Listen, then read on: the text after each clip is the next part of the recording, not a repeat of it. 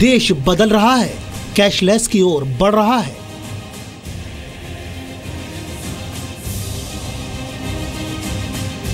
Cashless की मुहिम में महिलाएँ भी बढ़ चढ़कर हिस्सा ले रही हैं। बात चाहे मॉल में शॉपिंग करने की हो या फिर घर के लिए सब्ज़ियाँ खरीदने की, पेमेंट मोड अब डिजिटल हो रहा है।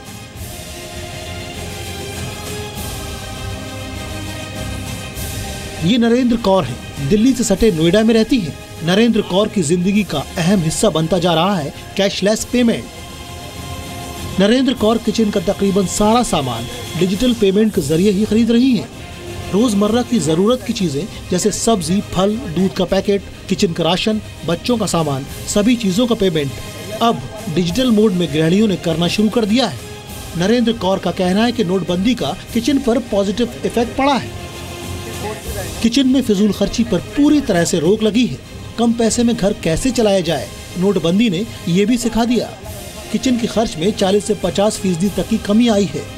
नोटबंदी की वजह से सब्जियों और फल के दाम कम हो गए हैं। आजकल है कि सस्ता हो गया है काफ़ी। मटर मिल रही है बीस रुपए किलो प्याज में भी गिरावट आई है। प्याज मिल रहे हैं तीस के दो किलो। तीस के दो किलो। तो आपको कि, कितने रुपए महीने के बच जाते हैं इस सब बात से? आठ नौ सौ रुपए की बचत तो हो ही जाती है। किचन कैशलेस दौर में पहुँच चुका है। नोटबंदी के 43 दिन बाद अब हर कोई कैशलेस की बात कर रहा है।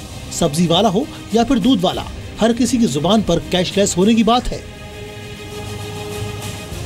पवन नारा जी मीडिया नोएडा। तो अब यूँ लगाइए कि 8 तारीख से पहले आप कहना तो दूर सोच भी नहीं सकते थे कि क्या किचन आपका कैशलेस हो सकता है। क्योंकि कहीं ना कहीं किसी ना किसी डिब्बे में कुछ ना कुछ छुपा के गृहिणी ने पैसे ज़रूर रखे होते थे कि कभी ना कभी कैश की ज़रूरत पड़ ही जाएगी। लेकिन तिरतालीसवां दिन है नोटबंदी का और कैशलेस किचन हो गया है। कैसे हो गया है? कैसे चल रहा है? इसी की पड़ताल करेंगे। पूरे देश में आपको लिए चलेंगे। तिरतालीसवा दिन है। खाने पीने की महँगाई दर भी कम हुई है। सब्जियों के दाम भी घटे हैं। आपकी जेब को फ़ायदा हो रहा है या फिर नहीं हो रहा है, आप खुद बताइएगा। नोट बैन के बाद कितना बदल गए हैं आप किचन? वही है या फिर नहीं? देश भर का रियलिटी टेस्ट सीधे किचन से, डाइनिंग टेबल पर महिलाओं से हम बात करेंगे, किचन का हाल कैसा है ये जानेंगे। हालात कितने आसान हुए हैं, कितने हुए हैं मुश्किल।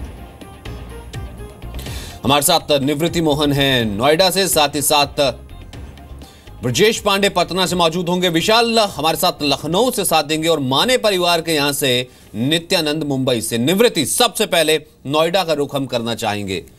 कोई नहीं सोच सकता था। नोएडा से तो हम खुद आते हैं और मैं कम से कम इस बात का गवाह तो हो सकता हूँ कि जो रोज़मर्रा की चीज़ें थी जो कि यूज़ होती हैं रसोई में, वो बगैर कैश के नहीं आती थी। उसके लिए तो कैश देना ही पड़ता था। अब वो कैशलेस हो रहा है। अब वो चीज़ें आ रही हैं। ये परिवार क्या कह रहा है? इनका अनुभव कैसा रहा? कुल मिलाकर के तिरतालीस दिन हो चुके हैं।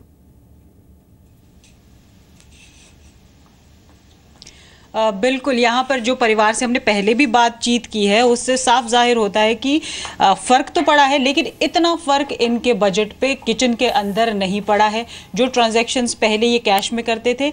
अब जो छोटे छोटे ट्रेडर्स हैं, उनसे ये जाकर कैशलेस ट्रांजैक्शंस कर रहे हैं। अभी शर्मा फैमिली से मैम आप बता रही थी कि आप जहाँ से सब्ज़ी पहले लेती थी वहाँ पहले कार्ड पेमेंट नहीं होता था। अब कार्ड पेमेंट होता है वहाँ पे। जहाँ से मैं लेती थी वहाँ से कार्ड पेमेंट और पेटीएम नहीं था लेकिन अब सब जगह है। और ज़्यादा बड़े तो हम पहले भी कार्ड और चेक से पेमेंट करते थे लेकिन अभी छोटा हज़ार आठ सौ में भी हो रहा है।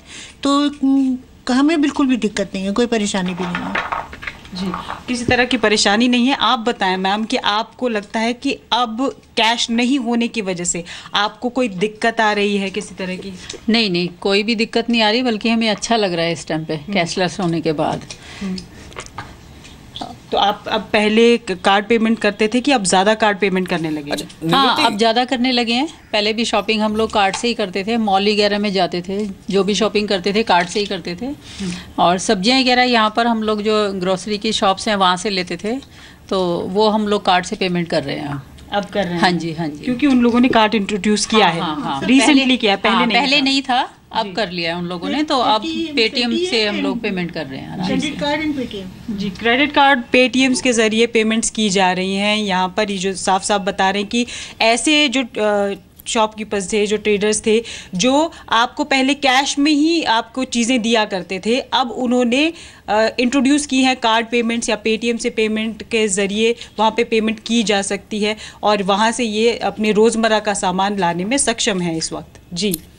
नित्यानंद, मैं आपके पास आना चाहूँगा। कोई सोच सकता था कि प्याज लेकर के आएँगे, टमाटर लेकर के आएँगे, हरी मिर्ची, धनिया लेकर के आएँगे और उसके लिए कैश नहीं देंगे, खुले छुट्टे पैसे नहीं देंगे या फिर दालें, चावल, आटा लेकर के आएँगे, उसके लिए खुले छुट्टे पैसे नहीं देंगे। क्या मुंबई वाले ऐसा कर रहे हैं या अब भी वो कैश दे रहे हैं किसी तरीके से? कितना फ़र्क पड़ा है? माने परिवार।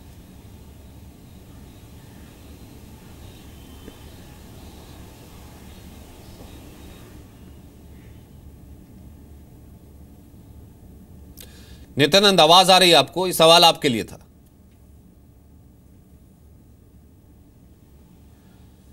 लगता है नित्यानंद तक आवाज़ नहीं पहुँची है। ब- पटना आपको लिए चलते हैं। ब्रिजम, यही सवाल अगर हम पटना के इस परिवार से पूछा जाए कि प्याज अदरक और टमाटर, ये सब बिना कैश के क्या रसोई चल पा रही है? कैसे चली है?